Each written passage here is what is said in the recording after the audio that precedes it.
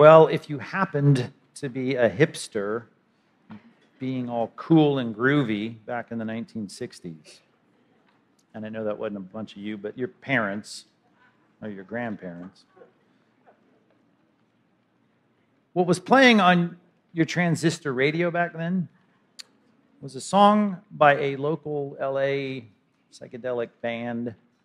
And uh, what was ironic about this uh, number one song on the Billboard charts in 1965 was that these uh, drug induced hippies that were singing this song had lifted uh, the lyrics that they were singing straight from the, uh, the Bible. I mean, you wouldn't, you wouldn't expect that. But uh, it was all the rage. I mean, it was number one song. And um, if you were to look up on Wikipedia and, and read about this song, you, you might have Wikipedia tell you that, that Pete Seeger wrote it and that a band called the Byrds made it famous. But if you do read that, don't believe a word of it uh, because uh, it was really written in the dusty city of Jerusalem and it was made famous by King Solomon some 3,000 years ago. And uh, of course, they gave it a new name, Turn, Turn, Turn, but they basically just sang the words of Ecclesiastes chapter 3, which uh, God had had us read for all these centuries, to know that even opposing endeavors, right, contrasting endeavors, uh, they have their uh, proper and appropriate times. There's times for both sides. But as it starts, right, uh, for everything under, under the sun, right, there, there's a time, there's a season Right? There's time to be born and time to die. And it goes through all of these contrasting pairings and saying you just need to know there's a, there's a season for each of them. And that's a very important thing. And I know that that song, it became very popular during the uh, war-torn uh, 60s, the Vietnam uh, anti-war endeavor, because of the last line that says there's a time for war and a time for peace. And, I get that. I can see why it's popular, but you need to realize that even if anyone knew that, it was uh, the one that God used to write that initially, and that is uh, King Solomon. He knew what it was being the commander in chief of the Israeli armies, that there was a time that you've got to go to war. And then there's a time where you've got to say, no, we've got to ask for terms of peace. We've got to not have war right now. And every government, right, it's been incumbent upon them ever since, as Romans 13 says that they have a responsibility to know, right? It, even in our government, right? is it time to go to war? Is it not time to go to war? Whether it's the Civil War or the Vietnam War or some war in Ukraine, they've got to make wise decisions about is this the right thing to do? And in a sense, every individual Christian has to make that decision about our lesser wars. I mean, the kind of wars that go on in our lives, the arguments and the disputations and the debates and the things that we might engage in that put us at odds with other people. We've got to ask the question is this the right time to do that? Is this what we should be doing? Even as two lines above that last line of these pairings in Ecclesiastes 3 says, there's a time to be silent and then there's a time to speak up. I mean, and you need to know which is which. Matter of fact, that's why it's in the wisdom literature of the Old Testament, because that's what you call wisdom. Is it time? Is this the right situation? Should I go to war? Should I fight about this? Am I willing to argue over this? Should this be an issue between us? That, that's the real question. We've been studying through the book of Acts. We've reached Acts chapter 15. And um, if you know your Bibles, this is a section of the Bible that describes what's called often the Jerusalem Council. And it really is about a debate. And it really starts that way. We can't get out of verse 2 until we learn that that Paul, the apostle, and Barnabas, of all people, the son of encouragement, are engaged in what Luke describes as this they were in, engaged in no small dissension or debate, right? which is a nice way of putting it. They were in a major dissension and in a major debate. Which remember this the Apostle Paul was the one that wrote that church leaders, I'm quoting now, 1 Timothy chapter 3, should not be, I love the old translation, should not be pugnacious. Should not be pugnacious. I think our translations the ESV calls it not be violent. The Greek word literally is translated uh, in, in, ancient classical literature a striker, not someone who, who is combative, someone who, who's ready to fight. Because if you ask some people, right, what's the right time to fight? They're like, right now. I'm willing to fight about anything. They love Twitter, right? They're out there. I'm willing to debate anybody about anything, and I just, I love to poke my finger in people's eyes. They love to fight. And the passage says if you're a church leader, you can't be that way. You can't be someone who likes to fight. Matter of fact, the contrasting virtue in that passage says you should not be a, a striker. You should not be violent, as the ESV puts it. Uh, you must be gentle. It doesn't mean you don't teach with all authority, but you, you can't be someone that likes to fight. Matter of fact, the next line says you must not be quarrelsome.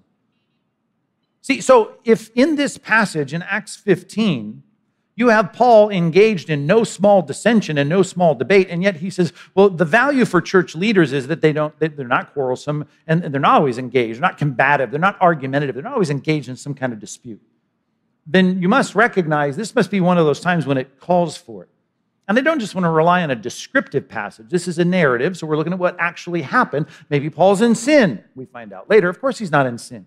It was a time to fight. The wisdom of Solomon here is it is in this particular case, right? It's different than saying, well, let's just be at peace. We you know, let our differences, we don't want to stand between, we don't want our differences to make any kind of issues between you and I. Matter of fact, we see from the beginning of Acts to the end of Acts, really, it's, it's a chapter about, about conflict in many ways.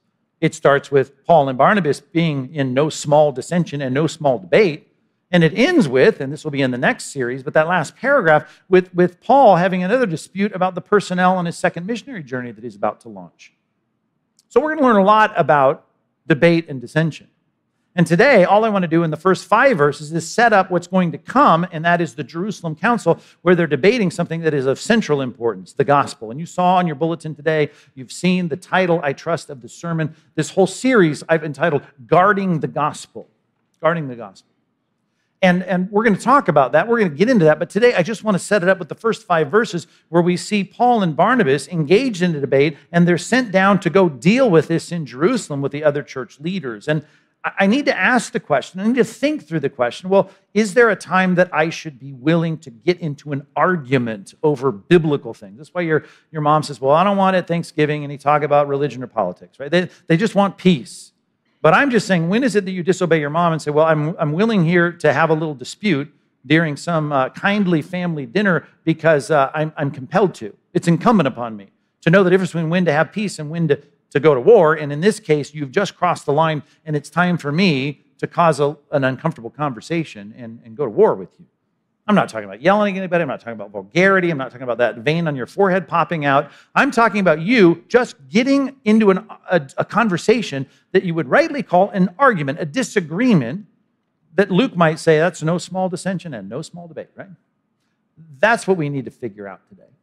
So let's set the stage for this by reading, first of all, the first five verses of Acts chapter 15. And if you don't have your Bible out yet, get it out, whether it's on your device or your, your computer, which I encourage you to bring to church uh, or that printed Bible that you brought, or there's one in the seat just in front of you. But turn to Acts chapter 15. Let me read for you from the English Standard Version the setup here to a big thing that's going to take place in Jerusalem called the Jerusalem Council. Now, remember, we left off in chapter 14 where they are in Antioch. Now, remember, there were two Antiochs. On the first missionary journey, there was something we called Pisidian Antioch because it's in the region of Pisidia, right? That makes sense. In what is now modern day Turkey, what is Galatia, back in the ancient provinces of, of Asia Minor.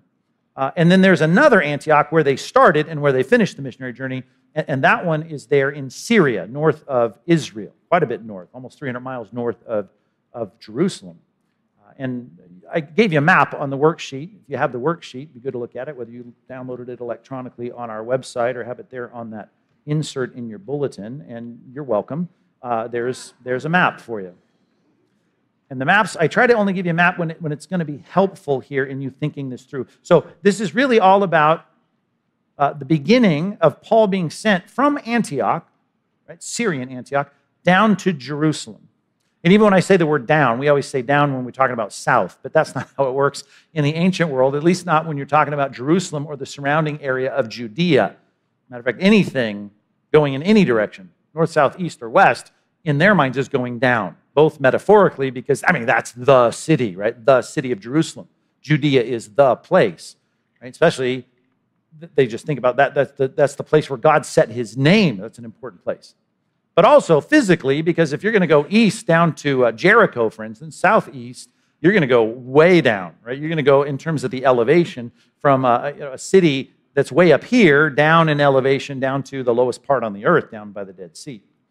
Uh, that differential in a pedestrian society, they're always going to say is down. So that helps us with the first sentence here in Acts chapter 15, verse 1. Let me read it for you as you follow along. Give you plenty of time to find it. Acts chapter 15, verse 1. But some men came down from Judea. Now you see the map, it's, it's, not, it's not south, it's north. And they were teaching the brothers. What were they saying? Unless you are circumcised according to the custom of Moses, you cannot be saved. Remember, that's what Paul has been doing. Right? He's been trying to tell people how to be saved. What does that mean? I'm no longer going to incur the penalties of my sinful life. I've done sinful things before God. When I meet God, meet my Maker, right? When a man wants to die, then the judgment. When I stand before God and my life is there before Him, right? I'm going to be saved from the penalty of my sins. And that is the hope. That's what we need. We need God's grace, His mercy. We need Him to forgive us. How do we get forgiven? Well, Paul's been traveling all around teaching people about that. Peter had, from, from Acts chapter 10, seen this first conversion of Cornelius, a, a Roman centurion, right, an Italian of, of all groups, right? Here, this first non-Jewish person was, was saved. And they were going around talking to these Gentiles about putting their trust in the Jewish Messiah, but they weren't turning them into Jewish proselytes, which if you were a Jewish proselyte, proselyte, you had a baby boy, by the eighth day, you better circumcise them according to the custom of Moses, which that cutting off the foreskin was a picture of that covenant relationship between the chosen people of God and their Savior and their God, Yahweh. So that symbol and that sign, it marked you off as being separated in that culture, right? As being a part of the covenant people of God. And they were saying, listen, you can trust in the Savior of Israel, the Lamb of God that takes away the sin of the world, which is a projection of the image of a spotless lamb brought to the Levitical priest at the temple and sacrificed as a symbol of, of atonement, right? That the blood would be spilt, that you would be forgiven because of that substitutionary symbol, that picture at least, of the ultimate substitute that John the Baptist said, there he is, Christ the Messiah, the Lamb of God who takes away the sin of the world. So, hey, you can be a Gentile, not become a Jew. You don't have to eat kosher. You can have a ham and cheese sandwich if you want, right? And, and, and you don't have to have your kids circumcised. You don't have to be circumcised. You don't have to worry about the Levitical priesthood. You don't have to bring your animals to any, any sacrificial altar. Uh, you just go on living for God and with God. You don't have to become a Jewish proselyte. And here they were saying, no, you have to be. So now either Paul and his missionary comrades were doing the wrong thing, or, or, or, or these guys are saying the wrong thing. Verse 2. And after Paul and Barnabas had no small dissension and debate, right there's the phrase, a nice way of saying, and there was a big argument with them. Paul and Barnabas and some of the others were appointed, right there in Syrian Antioch, to go up to Jerusalem, that's south, to the apostles and the elders about this question. But we got to talk to the big guns down there where the church started, right? We had the first mega church there. They were meeting, thousands of people were meeting together. Peter was preaching. We got to go meet with those church leaders and we got to discuss this question. We got to debate this question. We got to take our dissension there and we got to we got to flesh this thing out. That's the setup. Verse 3. So being sent on their way by the church, church in Antioch, they passed through both uh, Phoenicia and Samaria. Now, I had to put those names on there. I couldn't find any map that had them on there. You're going to find one now uh, through the free, free Wi Fi, and I get that. But I, I searched for a long time to find one that had the regions, right? That, that marketed the place from, from northern Syrian Antioch to Jerusalem. But Phoenicia is a region, right? Two key cities, Sidon and Tyre. They were traditional and historical enemies of, of Israel in the Old Testament. That's up north, north of Mount Hermon, along the Mediterranean plains and the coast up there. That's Phoenicia. So they're going through regions, and you see a lot of cities there. And then Samaria, you know Samaria. If you see on your map there a little tiny island of, of, of, or a little body of water, right? That's Galilee, and then it's got the little Jordan River and then the Dead Sea, right? There's the region of Samaria that sits between the two on the Mediterranean side this way for you. I'm trying to mirror that the right direction. So that, right, is Samaria. And you remember all the stories of Samaria starting in John chapter 4. We have plenty of discussion about Samaria. We know the history of Samaria, and there are Christians now there, right? We're, we're some years into the church and the propagation of the gospel. And so he's going from city to city. It's about 275 miles. Who knows what kind of route they took going from synagogue to synagogue, or in this case, converted church to converted church. In other words, we have people won to Christ in all of these places, and they're bringing a message. They're describing in detail, it says, bottom of verse 3, the conversion of those uncircumcised, non kosher Gentiles. And they sat there and disputed with them. No, you know what they found with them? Reception, great reception. They thought, oh, that's great. That is good news. We give it the seal of approval. It brought great joy to all the brothers. And then they finally got to Jerusalem probably months later, maybe a month or two later. Who knows how long it took? Six weeks, five weeks, seven weeks. When they came to Jerusalem, they were welcomed by the church and the apostles and the elders. And they declared all that God had done with them. which is not only this journey where a lot of the people, even with Jewish background believers, but probably even thinking back into that first missionary journey through Asia Minor and the island of Crete, Sergius Paulus went to Christ, all these people that they described, they told all about that? And you'd think that's fantastic. They're going to give you a high five like everybody on the way down through Phoenicia and Samaria. The answer is no. But some believers who belonged to the party of the Pharisees rose up and said, It is necessary to circumcise them and to order them to keep the law of Moses. You better tell them to keep the ceremonial laws of the Old Testament. Okay, now we're going to talk all about that debate, guarding the gospel, talking about this issue of ceremonial law, the parallels to today, and how people make the same argument today. But right here, what we're going to deal with is that there are groups of, of people in the church. In this case, it's designated as some from the Pharisees, right? And you think, oh, Pharisees, mm, mm, mm, those are the bad guys of the gospel, right? You think, bad guys. We got the scribes, we got the Pharisees, we got the Sadducees, and those are the guys that are always opposing Christ. Well, remember, there are a lot of Pharisees that are getting saved right? You got Nicodemus, right? You, you see people like Joseph of Arimathea. You got Paul himself, who was Saul of Tarsus, who was a Pharisee of Pharisees, as he describes in Philippians chapter 3. So, plenty of Pharisees who were the high ranking academic minds, seminary graduates who knew the Old Testament law, they were putting their faith in Christ and becoming Jewish background Christians now. And that's, that's great. I mean, who knows the Old Testament better than these Pharisees? So this doesn't mean these are people outside the church. These are people inside the church. It's just that they have this education in the Old Testament. They have so much experience in living as leaders among the Old Testament synagogue system and probably in Jerusalem. Many of them had served from the Levitical priesthood, or at least within the leadership of the religious leadership of Israel. They had served there on the Temple Mount themselves in, in Herod's remodeled temple in the Second Temple period. So we're not saying that there, this is not an attack from the outside. This is a dispute from the inside. Doesn't mean that they were all genuinely saved, but it does mean that they all sat there and claimed Christ. They all quoted the same Old Testament scriptures about the Jewish Messiah, but they were disagreeing about something that Paul and Barnabas, by example, were showing us hey, this is worthy of no small dissension and debate. In other words, this is worth a big debate. We ought to disagree about this. That first section there when you see that statement in the top of verse 2. And you see why in verse number 1. People were saying something about salvation and how to get saved, and it was different than what they were saying. And you have a, a dispute on your hands because this is an important topic. I don't want you to be an argumentative person. I don't want you to be a quarrelsome person. The quarrelsome person argues about a lot of things. What we need to know is when is it the right time to engage in a debate?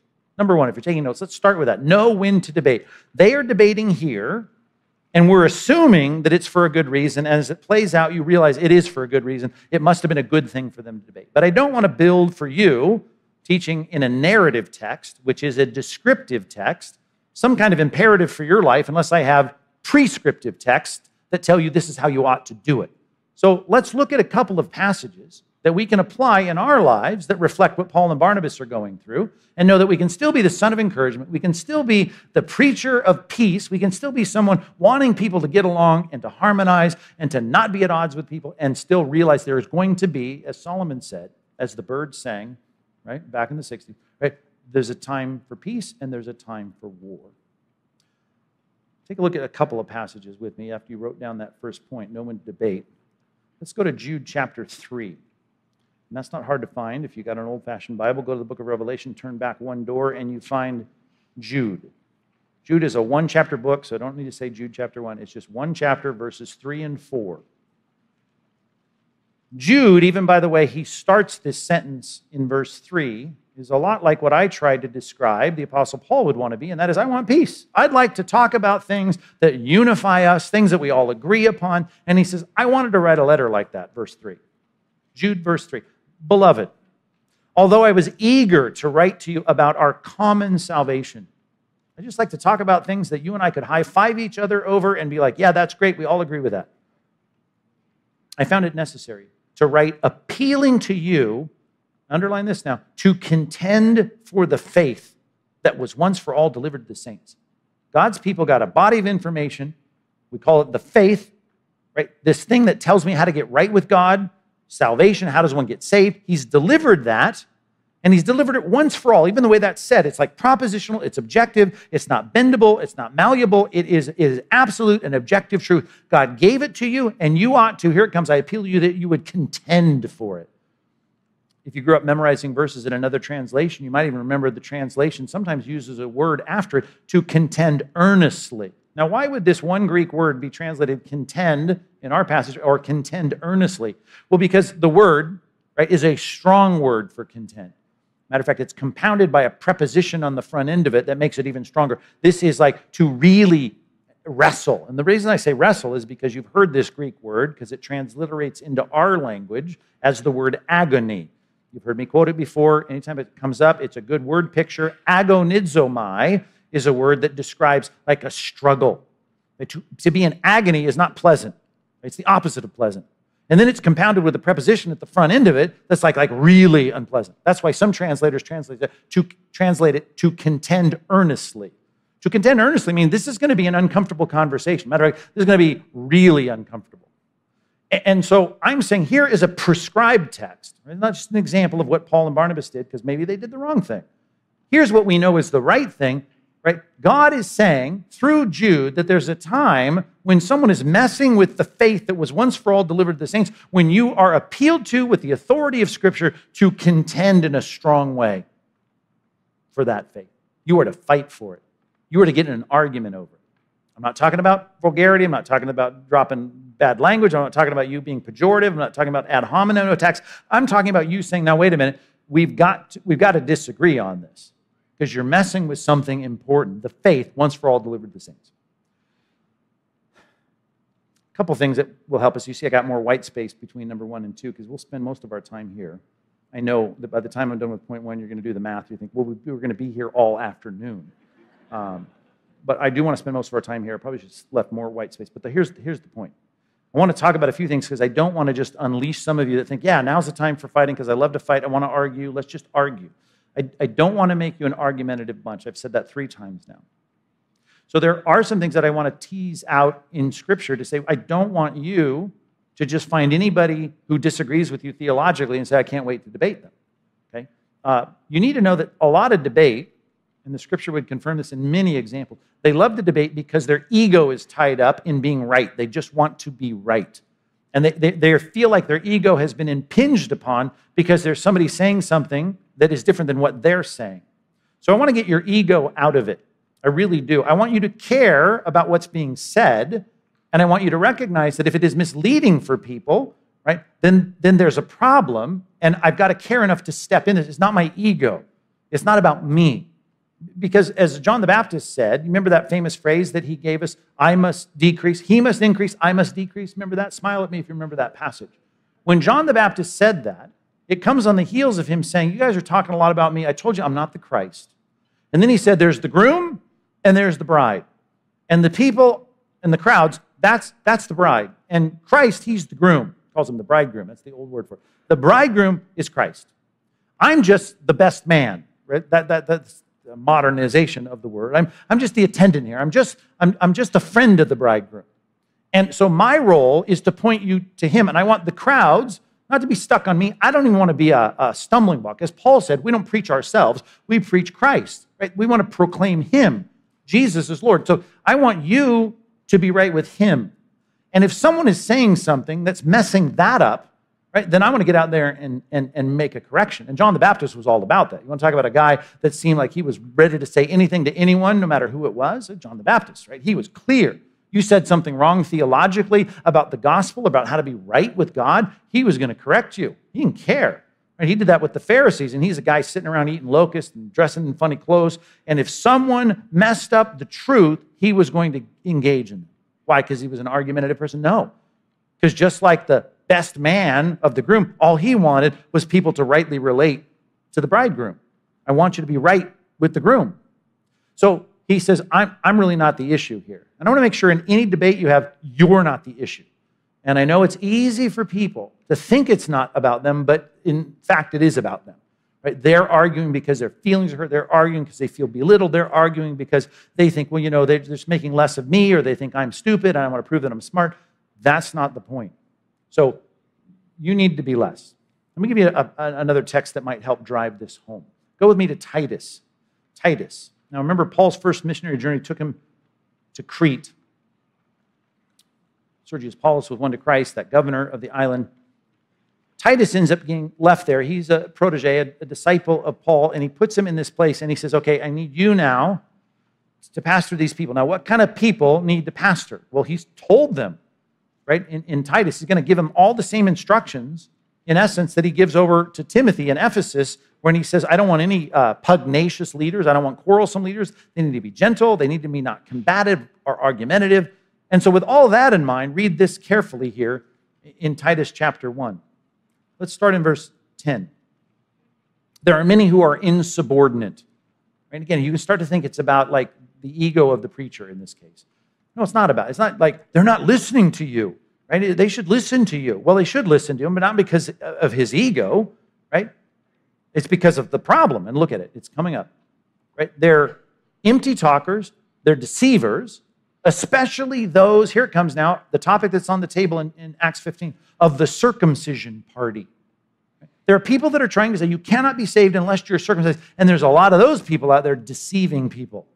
So, what do I do about it? Just try to be uh, gentle. Don't be argumentative. No, no, no. They must, verse 11, they must be silenced. They must be silenced. Since why? Because, you know, the crowd, the bride, and the bridegroom, it's messing their relationship up. They are upsetting whole families by teaching for shameful gain, by the way, what they ought not to teach. And then he gets into other issues in the church. One of the Cretans, a prophet of their own, has said Cretans are always liars, they're evil beasts, they're lazy gluttons. Verse 13. This testimony is true. So again, you see, he's about to call them to do something that doesn't sound nice. Middle of verse 13. Therefore, rebuke them sharply. Right? Just think about that. If you can hear your, your, your mother in law or your mom uh, at, at, Thanksgiving afterwards chiding you because you got in an argument with your brother in law, and it's like, it's like, hey, you know, you, it was like you were rebuking him sharply. I don't know if they use that terminology, your mother in law, but, you know, it's like she's chiding, like, I just wanted to have a peaceful dinner. And, and here is a command to this pastor to say, who's supposed to be a, a peace loving person, there's a time to rebuke people sharply. Why? That they may be sound in the faith, this once for all delivered body of truth. We don't want people messing with that. You got to make sure that people understand that. Just like in verse 11, we don't want anyone's family upset and not understanding sound doctrine, how to relate to God.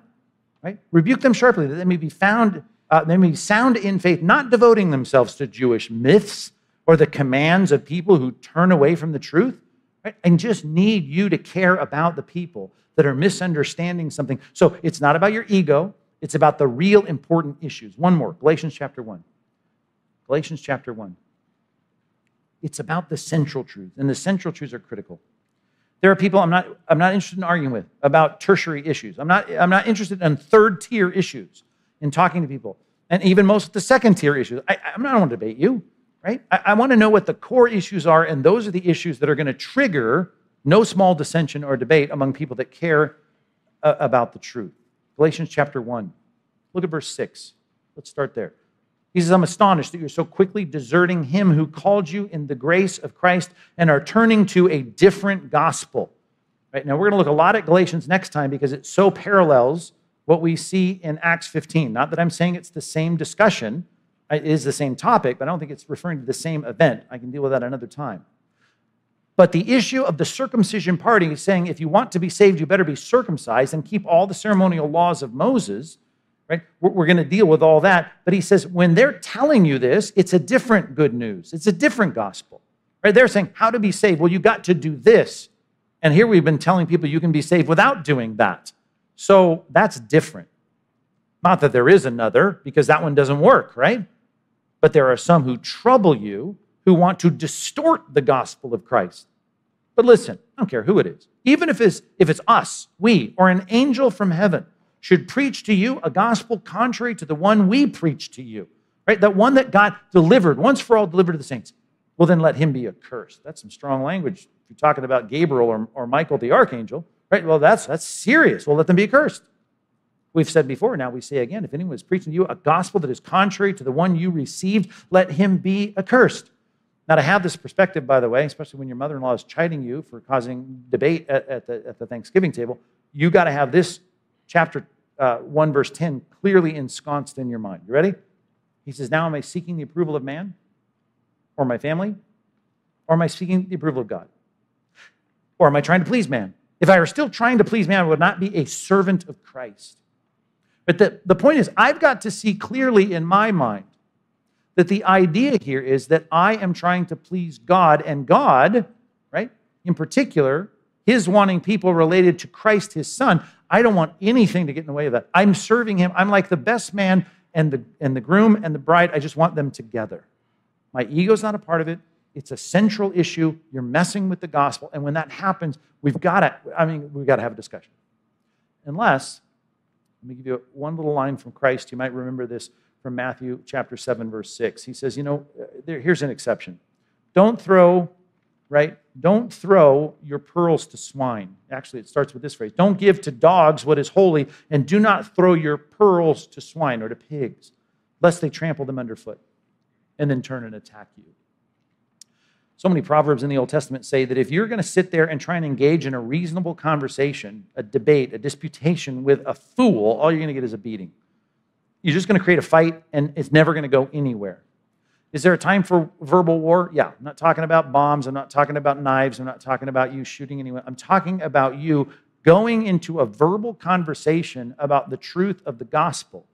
Is there a, a, time for that? Yes. Is there a time not to do that, even though the topic's on the table? Yes. You might be dealing with someone who is literally a, a fool, right? There's no reasoning with them. And, and there were people that Jesus wasn't even willing to, that was, he wasn't even willing to debate. And he quotes this passage to say there are times it's not, it's not, it's not we're not going anywhere with this. It, it says, the Proverbs say, when you are someone who's dealing with somebody who said something, there's a time to answer and a time not to answer. You remember the passage. Answer a fool according to his folly, right? Lest he be wise in his own eyes. And there's a time when you got someone saying a foolish thing and you say, well, if I engage them, I might be able to keep whole families from being upset and maybe even make some progress with this person. Right? I might be able to get him to say, oh, yeah, that was dumb. I was wrong. It didn't comport with the faith once for all delivered to the saints. And then it says, wait, don't answer a fool according to his folly. These are back to back verses, right? Lest you be like him. Well, when am I going to be like the fool? When I'm sitting here engaged in a conversation that's going nowhere. When I'm, when the, I'm the kind of person being dragged into a debate and it's not a fruitful debate. So there's a lot of wisdom that goes into this. Even if the topic is right, right? If your ego is all twisted in this and you can't even see straight enough to recognize whether or not you're fighting for your own reputation and your own ego or whether you're fighting for the truth, well, then you better back down. If you're engaging with the right topic, you know your ego's not a part of it, but you see there's no possible way talking to this fool, we're going anywhere. Well, then fine. Then it's, it's okay for you to say, I'm, I'm going to back out. But don't start quoting the fact that I don't want to get in a debate because if you get into a debate, right, then you're not nice. And therefore, it's always better to go the, the route of peace. I heard someone just this week say, well, you know, I don't want to get into these discussions because, you know what, I, I just want to be nice. I want to be loving. And of course, you're not loving if you want to debate with me. And they start saying things like this. Some people even quote Jesus, like, well, Jesus didn't defend himself. You've heard that, right? People say, I, am not going to defend myself because Jesus didn't defend himself. Well, you're not the Lamb of God going to the cross to pay for the sins of the world, engaging in an argument with people to get out of what God's will is. Your will, not mine, be done. Right? That was the point. I want your will, not mine, to be done. So Jesus is going to go to the cross. Of course, he's not going to try to argue his way out of it when he stands before Pilate. But if you're speaking the truth and other people are saying, well, that is not the truth, particularly if it has to do with the gospel or something related to how we handle and interpret the word of God, right? Then don't you sit, don't let anybody back down and go, well, you know, it's the nice thing not to debate. And you know, Jesus didn't debate. Well, of course he debated. He got in engagements all the time. You quote one instance when he didn't and say, well, that's the godly way to deal with it. Right? Christianity does not equal niceness. You know that. And some people are going to say, if you challenge anyone in a verbal dispute about something important in the Christian faith, that somehow you're not nice and therefore you're not a loving Christian. Stop with that nonsense. That is an argument that is a non sequitur. It should go nowhere in your thinking. Does it mean we want quarrelsome people? This is the fifth time now I've said that. I'm not trying to create quarrelsome people. I'm not talking about you arguing just because you like to argue. I'm talking about the fact that we need to be ready to defend the truth, right? We need to make, be ready to make a defense for the hope that's in us. And it's not only just the gospel, which is the top tier issue. It's how people deal with the Bible, how they treat the Bible. The Bible is a, is a sword, right? You know this from Hebrews 4. It's a two edged sword. It's sharp. It divides and, and, and corrects, and this goes here and that goes there, and this is right and that is wrong, and this motive is good and this motive is bad. It does that. When I was a little kid, I, can't, I remember as clear as day, I had a, a red rubber sword. uh, my parents were smart, right? Don't, don't want them to hurt anybody. So I would go around, you know, doing a lot of things with this sword and, and trying to hurt my brother and do everything I could, but it was, just, it was a wiggly little plastic sword. It didn't do anything. Second Peter chapter 3, at the end of the passage, it says, There are people that take the words of Paul, which he says they do with the rest of the scripture as well, and they twist it and distort it. Right? They, they, they treat it however they want. Christians are supposed to be, like it says in 2 Timothy chapter 2, 15, we're supposed to study to show ourselves approved to God, workmen who aren't supposed to be ashamed, who can rightly handle the word of truth. Rightly handle is a little Greek phrase that literally means to cut it straight right? To cut it straight. I'm not using a wiggly plastic or, or, or rubbery sword. I, and some people are treating the Bible whenever they have some kind of social pressure, whenever the polls say something, whenever they have some reason to kind of bend and twist the clear teaching of the word to be something else because they don't want the, the shame or derision of the culture, they twist. If someone handles the word that way, particularly if they, they say they're talking for God, right, it, then it's time to engage right? I can't let you do that. Just like Peter says in 2 Peter 3, right? People are twisting the scripture to their own harm, to their own destruction. And sometimes you got to deal with people, even though they may not be dealing with a top tier issue, it may be a secondary issue. But how they're handling the word is so rubbery, it's so distorted, it's so twisted. They twist the scriptures. I think we need to be real careful about letting that go and trying to say, well, love doesn't debate. So, you know, nice, nice Christians don't ever call anyone out for handling the word in a rubbery way. There's a new phrase for you. Tweet, tweet that one. All right. You've done the math now, 45 minutes on the first point, so I hope you didn't have lunch plans. Number two, we'll go fast, I promise. Back to Acts chapter 15, verse 2, the second half of verse 2. Paul and Barnabas and some of the others who were appointed to go up to Jerusalem to the apostles and the elders about this question. Go down to Jerusalem, we would say down, go south down to Jerusalem and climb up that, that elevation from those Samarian plains and get up into Jerusalem and talk to the leaders. Now, these are the sharpest, most well respected, honored leaders of the church. Now, Paul says in Galatians, who they are doesn't mean anything. It's about the truth. But I get that. But we, we do need to. Paul put on his sandals, got his backpack, got his walking stick, and he went with Barnabas and the others down to Jerusalem now, why would you do that? Well, because it is important for me, right, to get counsel. Matter of fact, that's what's going to go on in this passage. They're going to counsel, S E L, into that word, counsel, right, at what we call a council, C I L, right, council, C I L, because they're going to get together and, and they're going to confer and talk about this question. Right? Paul thinks this is right. I'm going to go down and we're going to talk about this. He's got biblical reasons for the New Testament gospel, and we've got prophets, as we'll see in the passage, who are New Testament teachers teaching New Testament truths who don't have a written New Testament. We've talked about that before. We'll talk about it more as the series goes on. And they're going to sit there and they're going to confer together and get counsel with one another, which, by the way, is just a simple biblical truth.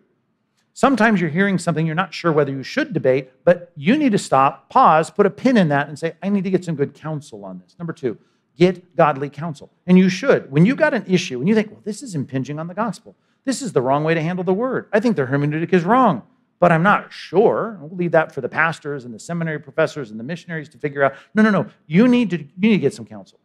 We need Christians that are going to stand and contend earnestly for the faith once for all delivered to the saints. Well, you need to educate yourself and you need to get some counsel. And the great thing about it, you don't have to travel 300 miles to get counsel. You can travel 100 yards into our bookstore and you can pick up a book from a person who is is respected and honored and studied and, and so clear in their thinking that they can publish a book on a topic and you can say okay now i can take what i've learned in the scripture and i can i can sit here and i can get counsel and voices from other people and i can figure out this thing. So i can get a good handle on this. I'm not saying every christian book is right but sometimes right we try to call and and and, and get the, the best christian books that we can in that bookstore so that we can do the work to, to build our, our thinking on all this right? We, we need to get godly counsel.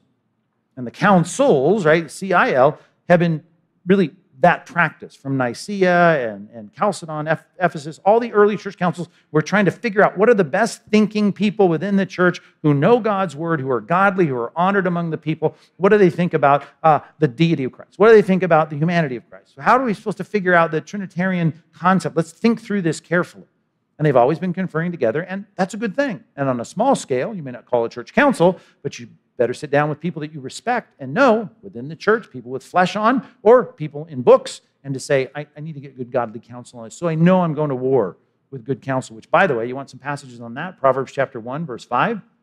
Right? You better get clear guidance. You better obtain guidance. How about chapter 11, verse 14? This is all in Proverbs. Right? Where there's no guidance, right? You're gonna you're gonna fall, right? You're gonna lose. 1522, Proverbs 1522. Without counsel, plans are gonna fail. Many advisors, they succeed. Or how about the one I thought of first? Proverbs 24 6. For by wise guidance you can wage war. Right? In an abundance of counselors, there is victory. Before I go to war, I better sit down and get some good counsel. The Jerusalem Council is about getting counsel, though they're spelled differently. That is important. And we need to say, hey, that's a good pattern to follow. And we see it throughout Scripture as a clear principle. Verse 3. See how quick first the second point was? No applause is necessary at this point in the service, but that was a good thing, what I just did. Verse 3. So, being sent on their way by the church, they passed through Phoenicia and Samaria, and there's your, there's your map. And on the map, we see just how far it was, although you need some scale in your mind. That's about 300 miles, 275 miles, and depending on what cities they stopped in and how they popped in and out off, off the coast, they were traveling many, many miles. And they were, I'm sure, sore at the end of the day, and who knows what kind of issues they had with their their sunburn or their blisters on their feet, and they were working hard to go get that counsel. So I just wanted to tease that out as a separate point. Number three, you need to work hard for the truth. To get a clear handle on the truth, you need to work hard at it. And some people think, well, I can just sit around and feel my way through the Christian life. You can't. You have to think your way through the Christian life, and thinking carefully and clearly and being a person who handles rightly the word of truth is going to take some work. And some of you, I talk about the bookstore, I mean, you've never been in there except to buy a card or something, right? I'm saying I put books on the back of the worksheet every single week. I carefully pick those so that you might go the next level, the next step, and, and continue to work through what we see in, in, in the topics that are raised in the sermon, that you can do, use, do some more research. But that's hard. See, the reason you don't want to pick up a book that has theological terms in it, that you have to use a dictionary to figure out what, what in the world they mean, is because it's easier for you to watch cat videos on YouTube. It's just easier for you to play a game on your phone. It's just easier. So I'm just saying we need to do the hard work. And I need to push you in this sermon to, hey, Paul went 300 miles for something he thought he'd figured out and, and he knew that he knew. He thought, I mean, I, but we're going to go and we're going to discuss this question 300 miles away in Jerusalem. But what did he do on the way? That was point three. That was even faster than point two middle of verse 3, describing in detail as he went through Phoenicia and Samaria and all the other places he went to, all the cities in, that, in those regions, in detail the conversion of the Gentiles. Right? He's saying it from town to town, church to church, and it brought great joy to all the brothers. And when they came to Jerusalem, they were welcomed by the church and the apostles and the elders, and they declared all that God had done with him. There's a lot of talking, a lot of detail, a lot of description, a lot of these non kosher, non circumcised, non non you know, ceremonial law keeping Gentiles that they're talking all about. And then they're seeing the response, at least it's being recorded by Luke, that everyone was like, oh, yeah, that's good. That's a good thing. That's a good thing. That's good.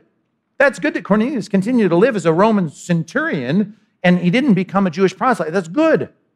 And, and so here they had, in a sense, if you can follow me on this, he had all of his reading and all of his research, and in this case, all of his reporting, he had it cross checked by all these churches along the way. He didn't just rush into the discussion and debate this in Jerusalem. He was getting all of his data cross checked. Now, that may not be an eloquent, eloquent point, but can you write it down? Number four, let your data be cross checked. Let it be cross checked. And, and, and here's one simple application of this, number four. To have your data cross checked is something that should be happening. It's, it's the difference between you saying, Well, I'll get a stack of books and I'll read those. And, and uh, I like that. I'm kind of a self studier. And I heard about your CBI thing, and that's great. And I'd even like to audit a few classes. But I want to audit a few classes, and you guys are so weird, you don't even let us audit classes. And I don't like that. Maybe once, once a semester, you let us audit one class. I want to audit because you know what I don't want to do? I don't have to write papers. I don't have to write papers. Because you know what happens with papers? It hurts. It hurts because I get them back and they're, they're all marked up and their statements, and then I get grades, and I don't want to be graded. Certainly not by the people over there. I want to be graded. Can you be a self-taught Christian that can sit there and, and really defend the faith once for all delivered? Well, you can be. You can be. But there is something about the fact that going through some kind of formalized training, that's the forcing, by the way, of cross checking your work. Of you being able to say, I've read these books, now here are my thoughts. And if you just explain it at, at, some conversation in the lunchroom at your workplace, that's one thing. But when you turn it in double space, right? It's Turabian Chicago style new paper for 12 pages. And then your professor, who we hope in, in CBI or any good school's case knows more than you do, sits there and evaluates and cross checks what you do and gives you feedback on it. There's just something about that. And that's why I value formal education for all of our pastors because that's a good thing for us to be told by people that know more than we do. That's wrong. This is right. You didn't think of this. You didn't factor in this. You haven't read these, these authors, and you don't know how this should affect your argument. That's super helpful.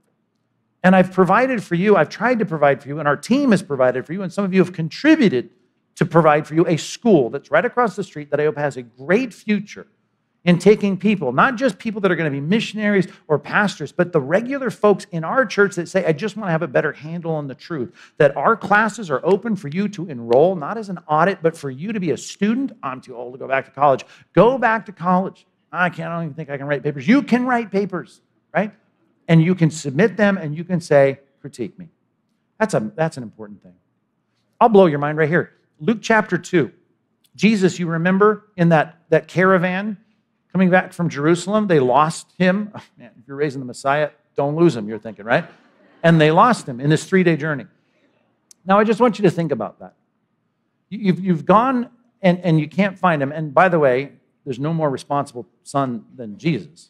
He's the oldest, of course, right? He's the oldest in the family, got brothers and sisters, but he's the oldest. So you can imagine in the clans and these big traveling caravans that they had and a lot of extended family, you can see where this is, this is feasible. And you know the story. He's 12 years old and, and uh, they realize he's not there.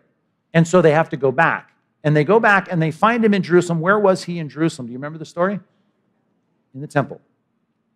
And it doesn't just say he's sitting there, because I don't know how you envision it. I always used to envision this. He's just sitting there kind of telling those dudes what it is.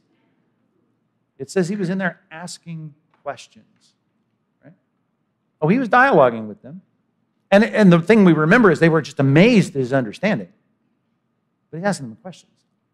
And the end of that passage, verse 52, says that Jesus, right, this is the, the, the God man.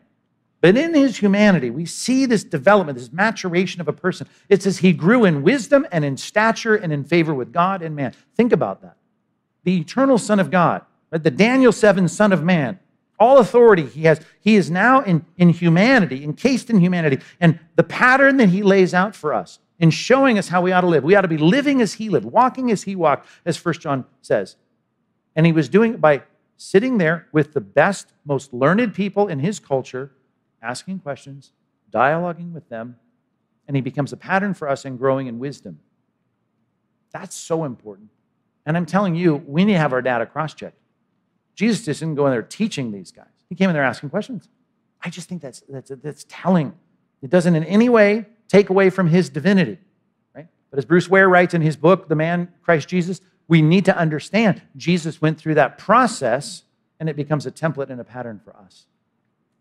That's a good, that's a mind-blowing passage, but a good one for us to make sure that we're in the process of getting a better handle on God's word by submitting ourselves to situations where we get our learning cross-checked evaluated, graded, marked up by a red pen.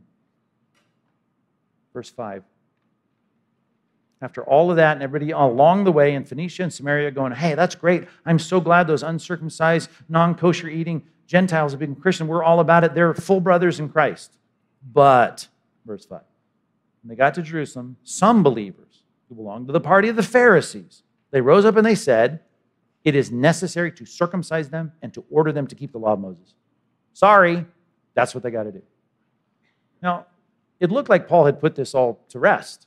I mean, he'd stopped at many places along the way, and everybody's high fiving him that this is, this is the right thing. But he's still got an issue. This has gone on for months. We're assuming it took weeks and weeks to get there. And now, when he gets there, nah, it may not be the same issue, but it often is. Sometimes it's just a bunch of other issues.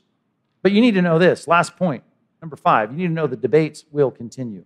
Just know that. No, debates will continue. They will continue. They're going to continue on until Christ comes back. And therefore, you're going to have to continually double down. You're supposed to learn. You're supposed to grow. There'll be a new threat to the church. There'll be something called the emergent church or CRT or some issue about the fact there's no male and female. And you're going to have to sit down and say, what does the Bible say? We need to figure this out. Were you here last week when uh, Dr. Allen was here, president of Midwestern? He, he said something, and he said it quickly and maybe he didn't catch all the things that he was saying about statements, but he said the reason our faculty at Midwestern, he said, has to sign all of these, these affirmations, these statements to be in line with the doctrine. He said the reason we have to do so many, do you remember what he said? Is because the world is so nuts, it's so crazy. And because all these things that keep coming at the church continue to need clarification for all the professors and leaders and all the people, in, in our case, in our church, we need to know that we are handling rightly the word of truth when it's whatever it is that's coming down the pipe. I mean, if you're back there having Arianism, right, take root in, in the fourth century, well, then you better have a council called Nicaea to figure out if, if this is right or wrong. Right? In the beginning, it was do we have to, to have everybody eat kosher and get circumcised to be a Christian? And so we call the Jerusalem Council. He quoted real quickly a few things. He talked about the Chicago Statement on Inerrancy. Do you remember that? Right? We talk about the Jerusalem Council. That's the reason they named these, these little uh, gatherings after the city. We've got the Chicago Statement. He talked about the Danvers statement. He talked about the Nashville statement. These are issues on complementarianism and, and gender roles and all those kinds of things. These are important. And so today it still continues on, right? Then there was the Dallas statement. That was the most recent one where we got evangelicals, leaders together to deal with this whole thing about social justice and CRT and what are we supposed to make of that as, as Christians, right? This is going to continue on from Chalcedon to Dallas. People are sitting down and having to say, let's get our best counsel together, let's figure out what the truth is, and let's make that statement and affirm things and deny things and, and, and know what we believe. And I'm just saying that's going to continue on. You're going to have to be, in, in one sense, a peace loving Christian who always wants us to agree and get along. And in that sense, you think that equals nice, and it, it is a nice thing when we can do that. But when there's a threat to the gospel, when there's a threat to the way we handle the Word of God, we need to be on the kind of footing that says, you know what, I'm always going to have to somehow, in the back of my mind, sing that old song, Onward Christian Soldiers, because it is going to be, there's a time for peace and there is a time for war. And I just got to prepare you for that. We can put to bed all the things that are threatening the church right now. We can deal with the issue of gender. We can deal with the issue of complementarianism. We can deal with the issue of CRT. We can deal with all that. But there's going to be something that our kids and our grandkids are going to deal with. We've got to continue to deal with these issues so that we know what the truth says so that the gospel is guarded and the faith once for all delivered to the saints is guarded as well. Let's pray. Stand with me. Let, us dismiss with this. God, we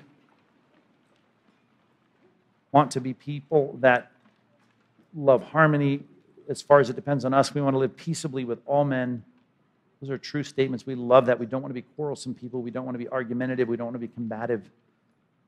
But God, there are times when it's not about our ego, it's not about us.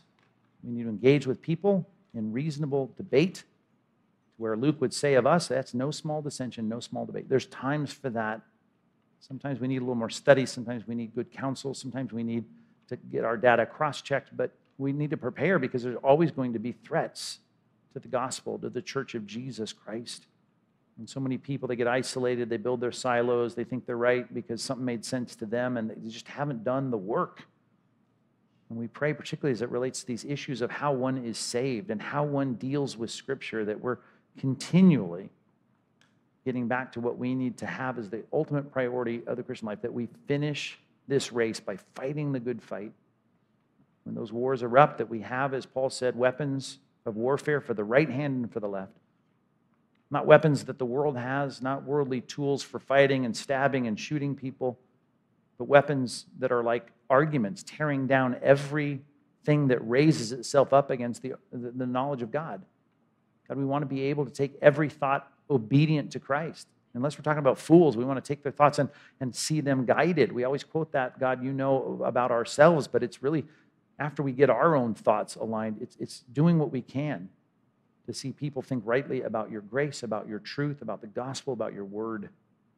So, God, prepare us for that without loving any of it. We certainly don't want to love uh, disputing, we don't want to love debate, but we want to engage in it as we have to. We don't just want to leave it for some that just love that stuff. I want to be ready even this week if we're called to defend the truth of the gospel, that we would do that. Do that willingly, do that diplomatically, do that peaceably, do that with sobriety and, and sound thinking. And God, if we feel inapt for that or ill equipped, I pray we would do more to be equipped. God, help us in that task, I pray. Get us ready for the rest of this series as we think through guarding the gospel, particularly as it relates to these issues of uh, ceremonial laws and all the rest that we'll see in this text. We read through again the truths of Galatians and, and Hebrews. I just pray that you would help us to have a clear grasp on the gospel of Christ. Faith alone, grace alone, Christ alone. I just pray we would have that firmly ensconced in our thinking and able to defend it. In Jesus' name, amen.